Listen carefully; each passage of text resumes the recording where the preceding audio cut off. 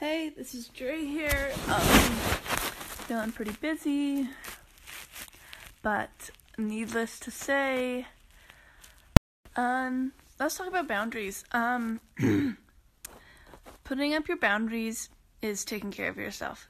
Putting up your boundaries is um, taking care of your precious time and energy that is so precious and fragile and can be so easily sucked away. Putting up your boundaries says saying no.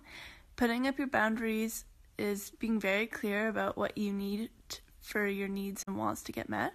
Putting up your boundaries is self um, self-centered but not selfish.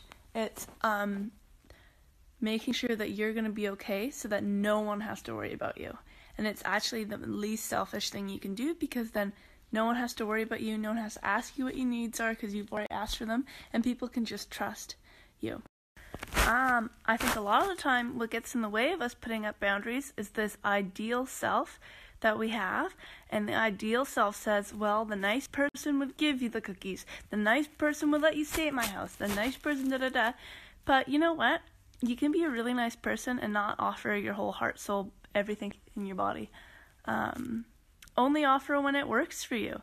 And then you're not putting yourself in the situation where someone will feel guilty that they, you know, people can just easily move with you and through, and it's a lot better.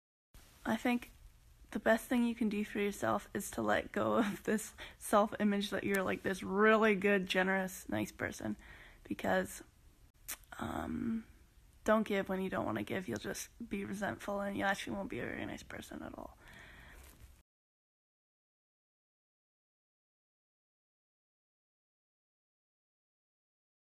Also, putting up your ground boundaries isn't um, like a mean act. It can come with lots of kindness, um, and it's just clarity. It's clarity of what you want, um, and it and in the um, I'll just end by saying that um, there are so many resources about um, boundaries. I think someone named Linda Nicholls has one. the Haven is this uh, place of healing, and they have like I know upload there might be some errors with like what gets uploaded first, and I also know I'm not the clearest, uh, well constructed speaker. So if you have any questions, just let me know.